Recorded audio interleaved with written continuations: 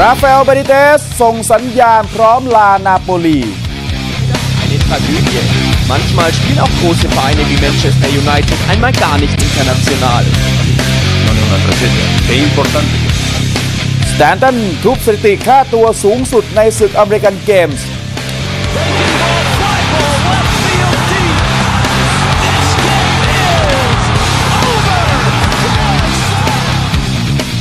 แต่กร้อไทยเก็บอีกหนึ่งเหรียญทองศึกเอเชียนบีชเกม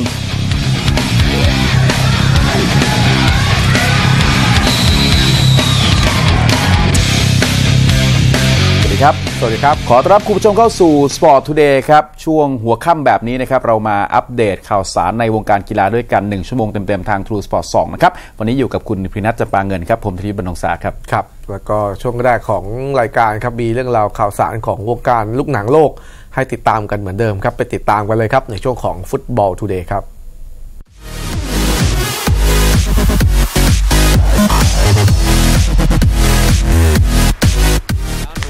ฟุตบอล Today ข่าวแรกก็เป็นข่าวใหญ่เรื่องการอำลาทีมนาโปลีของราฟาเอลเบนิเตสในช่วงซัมเมอร์ที่จะถึงนี้ครับ ซึ่งก่อนหน้านี้ก็มีข่าวลือออกมาว่าเบนิเตสอาจจะจากทีมนาโปลีไปหลังจากจบฤดูกาลนี้ ล่าสุดเจ้าตัวก็ออกมายอมรับว่า เขาคิดถึงครอบครัว ซึ่งปัจจุบันพักอาศัยอยู่ที่เมืองลิเวอร์พูลประเทศอังกฤษนะครับสัญญาของเบนิเตสกับนาโปลีจะหมดลงในหน้าร้อนนี้ครับทำให้มีข่าวลือออกมามากมาย เกี่ยวกับการเตรียมอำลาตำแหน่งของเขา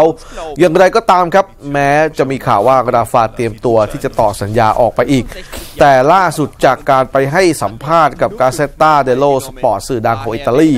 ดูเหมือนว่าราฟาเองก็ยังไม่ชัดเจนเกี่ยวกับเรื่องอนาคตของเขาครับราฟาบอกว่าประสบการณ์ที่ผ่านมาเขายังต้องสนใจกับงานในปัจจุบันของเขาก่อน แต่เขาก็ได้คุยกับประธานสโมสรนาโปลีแล้วว่า อนาคตเนี่ยก็ต้องไปด้วยกัน ปัญหาระหว่างเขากับนาโปลีไม่ใช่เรื่องของการต่อสัญญา แต่เป็นเรื่องของวิสัยทัศน์ และนโยบายของทีมที่จะต้องสอดคล้องด้วยกันระหว่างฝ่ายบริหารและตัวเขา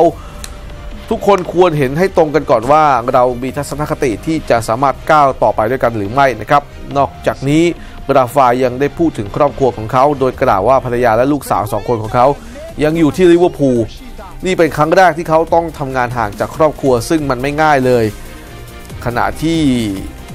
ลอเรนโซดิลอเรนติสเจ้าของทีมนาโปลีก็รู้ดีเหมือนกันว่าครอบครัวนั้นสำคัญต่อเขาขนาดไหนครับ อย่างไรก็ตามครับข่าวบางกระแสระบุว่าเบนิเตสอาจจะต่อสัญญากับนาโปลีก็ได้ ถ้าหากว่านาโปลีมีเงื่อนไขพิเศษ ให้เขาสามารถลาออกไปคุมทีมชาติสเปนได้เมื่อใดก็ตามที่สเปนทาบทามมา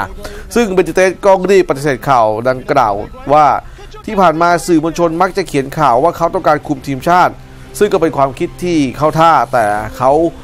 ชอบที่จะคุมทีมระดับสโมสร เพราะมีงานให้ทำทุกวันไม่เหมือนกับการคุมทีมชาตินะครับ ในฐานะของครูเนี่ยเขาบอกว่าเขาพยายามที่จะทำให้นักเตะเข้าใจเกมฟุตบอลให้มากขึ้น ซึ่งไม่อยากแค่มานั่งทำงานเอกสาร และนักเตะที่โดโดนทีมชาติเรียกตัวไปติด ไปเล่นด้วยอย่างโคเซกายเยคอน แล้วก็คาริดูคูริบารี ก็ถือว่าเป็นผลผลิตแล้วก็เป็นรางวัลที่น่าภาคภูมิใจของเขา ดังนั้นไม่จะเป็นที่เขาจะต้องอำลาทีมไปคุมทีมชาติ ถ้าตราบใดยังสนุกกับการคุมทีมสโมสร แล้วก็ปั้นนักฟุตบอลเข้าสู่ทำเนียบทีมชาติได้ครับครับเจ้าตัวก็พยายามจะบอกแล้วก็พูดถึงว่าการทำงานระดับสโมสรก็เป็นเหมือนครูด้วยนะครับ ยังอยู่ที่ข่าวคราวของศึกฟุตบอลกัลโชเซเรียอาครับ เป็นเรื่องของฝั่งอินเตอร์มิลานบ้างครับ เทรนเนอร์ใหม่ป้ายแดงอย่างโรแบร์โตมันชินีครับ เทรนเนอร์ของอินเตอร์มิลานยอมรับว่า ตอนนี้เนี่ยฟุตบอลของอิตาลีเปลี่ยนไปมากครับ รวมทั้งการเริ่มต้นคุมอินเตอร์ครั้งนี้ ถือว่าเขาจะต้องเจองานหินตั้งแต่แรกแหละครับเทรนเนอร์ป้ายแดงของอินเตอร์ยอมรับว่ามันเป็นงานที่ยากมากครับกับการกลับมาคุมอินเตอร์มิลานเป็นสมัยที่สองครับ และต้องเปิดหัวด้วยการทำศึกมิลานดาร์บี้ครับในเกมที่จะเล่นกับเอซีมิลานต่อด้วยเกมกับโรม่านะครับหนักมากครับมันชินี่กลับมารับงานอินเตอร์มิลานสมัยที่ 2 ต่อจากวอลเตอร์มาซารีครับซึ่งหนแรกเนี่ยเขาทำหน้าที่ตอนปี 2004 ถึง 2008 ครับสำหรับอดีตผู้จัดการทีมแมนเชสเตอร์ซิตี้ให้สัมภาษณ์ผ่านกาเซตตาเดลโลสปอร์ตสื่อดังของอิตาลีบอกว่า ตอนนี้เนี่ยยังไงก็แล้วแต่ครับเขาต้องคำนึงถึงมากกว่าแท็กติก ที่ต้องคำนึงถึงก่อนก็คือความกระตือรือร้นของทีมครับ ซึ่งมันไม่ได้มีกำหนดแน่นอนว่าจะพร้อมเมื่อไหร่รู้แต่ว่าต้องรีบทำแล้วก็ต้องพัฒนาทีมกันต่อไปครับ นัดแรกของมันชินี่จะต้องลงคุมทีมทำศึกดาร์บี้แมตช์เจอกับเอซีมิลานวันอาทิตย์นี้ต่อด้วยเยือนโรม่าในเกมสัปดาห์ถัดมาครับ มันชินี่ยอมรับว่ามันเป็นเรื่องประจวบเหมาะพอดีพอดีครับ ไม่มีเกมใดในเซเรียอาเป็นงานง่ายเลย แต่ก็มักจะพูดเสมอว่าการเริ่มต้นคุมทีมด้วยการเจอมิลานและโรม่าก็เป็นเรื่องที่เกินจะคาดคิดและเป็นงานที่ยากมากๆเหมือนกัน ยังอยู่ที่เรื่องราวของกุนซือทั้งหลายนะครับคราวนี้ไปกันที่ลาลีก้าสเปนนะครับต่อกันที่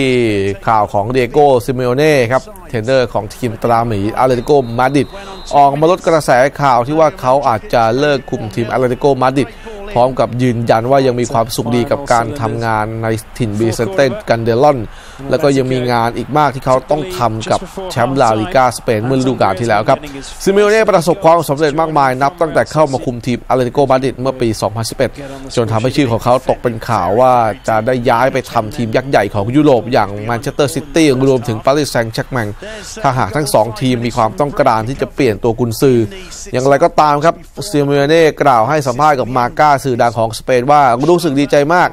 ที่อาร์เติโกมาดริดเนี่ยเขาทำงานได้อย่างยอดเยี่ยมและพัฒนาทีมได้ต่อไปเรื่อยๆ เขาไม่เคยรู้สึกไม่พอใจหรือไม่มีความสุขในการคุมทีมอาร์เติโกมาดริด แม้รู้ว่าข้อจำกัดของทีมเนี่ยมีมากน้อยแค่ไหนครับ ซึ่ง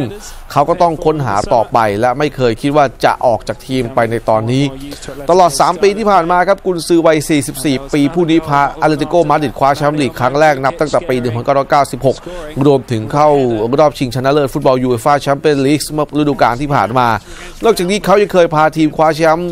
ยูฟ่ายูโรปาลีกโคปาเดลเรย์ยูฟ่าซูเปอร์คัพแล้วก็สเปนิชซูเปอร์คัพมาแล้วครับ อดีตมิดฟิลด์ทีมชาติอาร์เจนตินาเคยเล่นให้กับอาร์เ t ติโกมาดริดด้วยนะครับสองรอบในช่วงยุคปี 1990 และปี 2000 ก็กล่าวเสริมถึงการทำหน้าที่โค้ชของเขาว่า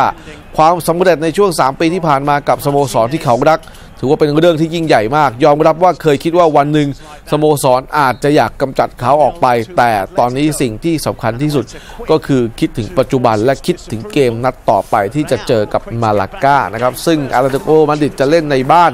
ในวันเสาร์นี้ พวกเขาต้องการแก้มือจากเกมที่แล้วที่แพ้เรอัลโซซิดัด ในช่วงก่อนเบรกทีมชาตินะครับ ซึ่งผลในเกมนั้นทำให้พวกเขาต้องตกไปอยู่ในอันดับทีสี่ 4 มีคะแนนตามหลังเรอัลมาดริดจ่าฝูงอยู่ 4 คะแนนครับสัปดาห์นี้เกมลาลิก้าก็วันเสาร์เข้มข้นนะครับ มีทีมใหญ่ๆลงสนามให้ได้ดูกันเยอะพอสมควรครับ ไปที่เรื่องของเกราร์โดมาร์ติโนครับเทรนเนอร์ของทีมชาติอาร์เจนตินาครับยอมรับว่าตัวเขาเองเชื่อมั่นว่าเลโอเนลเมสซี่กัปตันทีมชาติอาร์เจนตินาชุดปัจจุบันเหมาะสมแล้วครับ ที่จะคว้ารางวัลบัลลงดอร์ในฐานะนักเตะยอดเยี่ยมของโลกประจำปีนี้ครับเมสซี่นักเตะยอดเยี่ยมของฟุตบอลโลก 2014 จะนำทีมฟ้าขาวลงสนามพบกับทีมชาติโปรตุเกสที่มีคริสเตียโนโรนัลโด คู่แข่งบัลลงดอร์ของเมสซี่นำทีมลงสู่สนามในเกมที่ทั้งสองทีมจะเจอกันที่โอลด์แทรฟฟอร์ดคืนนี้ครับ อย่างไรก็ตามมาร์ติโนเชื่อว่าลูกทีมของเขาเหมาะสมที่สุดครับ ที่จะคว้าบัลลงดอร์เป็นสมัยที่ 5 โดยยอมรับว่าในฐานะของชาว Argentinian เนี่ย หัวใจของเขาจึงต้องอยู่กับเมสซี่เป็นธรรมดาครับ ซึ่งเขาไม่สามารถแบ่งแยกความรู้สึกตรงนี้ได้ทำให้เขาจะโหวตให้กับเมสซี่แน่นอนครับเมสซี่ ยิงให้กับบาร์ซ่า 41 ประตูเมื่อซีซั่นที่แล้วครับ น้อยที่สุดตั้งแต่ปี 2008 ถึง 2009 และถูกวิพากษ์วิจารณ์อย่างหนัก จากฟอร์มในรอบน็อกเอาท์ของฟุตบอลโลกที่เขาไม่สามารถทำประตูได้เลยครับ ในส่วนของการเปลี่ยนให้เมสซี่ทางออกไปเล่นเกมรุกทางฝั่งขวาให้กับอาร์เจนตินาตาต้าบอกว่า เขาเคยให้เมสซี่ลองเล่นในตำแหน่งนี้มาแล้ว เมื่อครั้งอยู่กับบาร์ซ่าแต่ไม่ได้ผล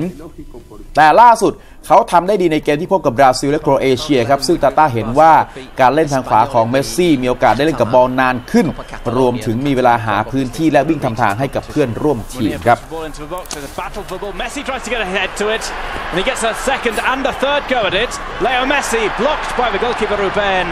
Munir keeps it alive. Munir's shot. Ruben's save. It looks as if it might have been going onto the post. วันนี้มีการแข่งขันฟุตบอลอุ่นเครื่องทีมชาติที่น่าสนใจครับ ระหว่างญี่ปุ่นกับออสเตรเลียครับญี่ปุ่นลงเล่นที่สนามนากาอิสเตเดียมก็ต้อนรับออสเตรเลีย ซึ่งญี่ปุ่นก็มีชินจิคากาวะเคสเกะฮอนดารวมถึงชินจิโอกาซากินำทัพขณะที่ออสเตรเลียก็นำมาโดยไมล์เยดินักร็อบบี้ครูสนะครับเกมครึ่งแรกสูสีครับนาทีที่ 17อังร็อบบี้ครูสเปิดบอล นี่ก็เป็นเอนโดนะครับ ตัวเก่าของญี่ปุ่นอีกคน นาทีที่ 17 ครับร็อบบี้ครูสครับ เปิดบอลให้แมทธิวเลกี้โหม่งติดเซฟของเอจิคาวาจิมะครับเพราะว่าที่ไปเล่นในลีกเบลเยียมกับทางด้านสตองดาร์ลีแอชนะครับ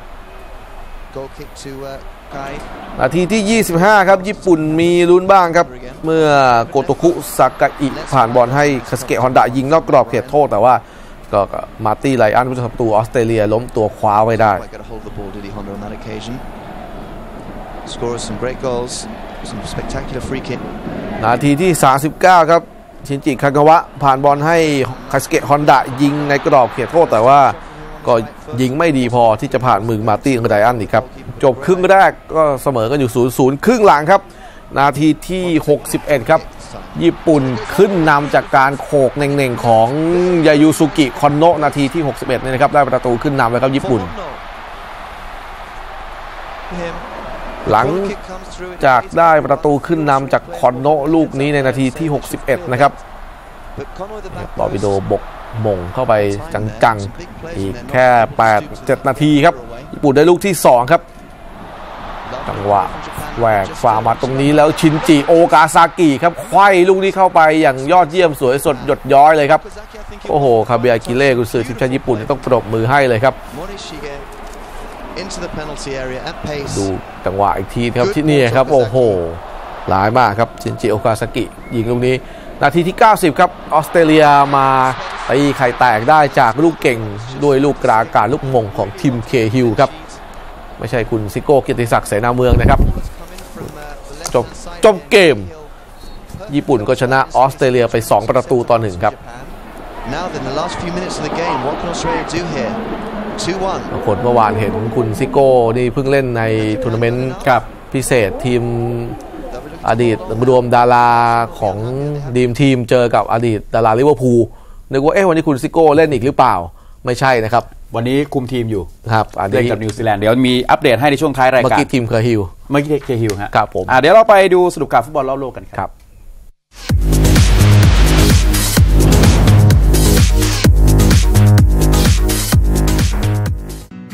อินเตอร์มิลานและปารีสแซงต์แชร์กแมงมีคิวจะอุ่นเครื่องกันในวันที่ 30 ธันวาคมนี้ ที่มาร์ราเกชเปิดโอกาสให้สลาตันอิบราฮิโมวิช พบกับอดีตต้นสังกัดอีกครั้ง ภายหลังจากที่สมาคมฟุตบอลโมร็อกโกประกาศแล้วว่า ฟุตบอลคู่นี้จะฟาดแข่งกันที่แกรนด์สตาดเดมาร์ราเกช สนามนี้จุผู้ชมได้ถึง 40,000 คน สามารถรองรับการแข่งขันใหญ่ๆจากฟุตบอลโลกได้สำหรับประเทศโมร็อกโกเพิ่งจะขอถอนตัวออกจากการเป็นเจ้าภาพจัดการแข่งขันแอฟริกันคัพออฟเนชั่นเนื่องจากหวั่นการแพร่ระบาดของเชื้อโรคอีโบลา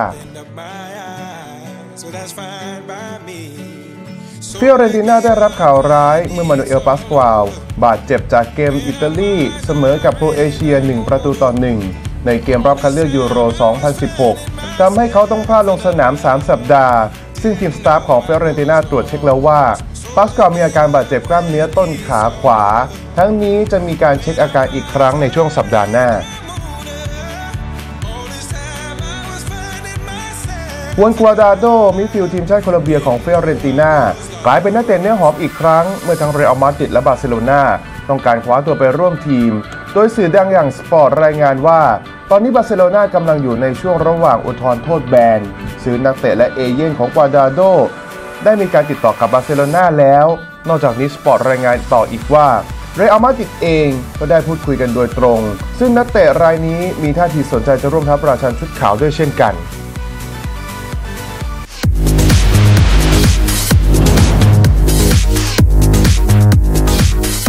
แรกของรายการนะครับ เราคุยกันเรื่องของฟุตบอลล้วนๆครับ เดี๋ยวเราพักกันครู่เดียวช่วงหน้ากลับมาติดตามกีฬาอื่น ๆ กันบ้างครับ มีข่าวคราวของวงการเบสบอลครับ มีนักเบสบอลค่าตัว